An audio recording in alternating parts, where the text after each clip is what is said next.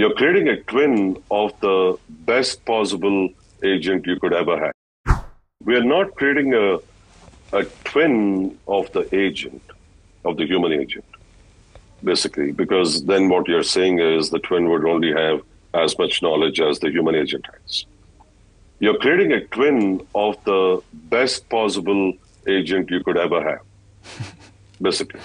So, you know, if Kane is the agent, agent Kane is going to have a companion who's the best agent that you know lives in the contact center in for that particular use case ever, because that you know companion is going to have all of the knowledge of all of the policies and the answers to questions and the ability to do a transaction and be able to pull up information from backend systems and provide it essentially.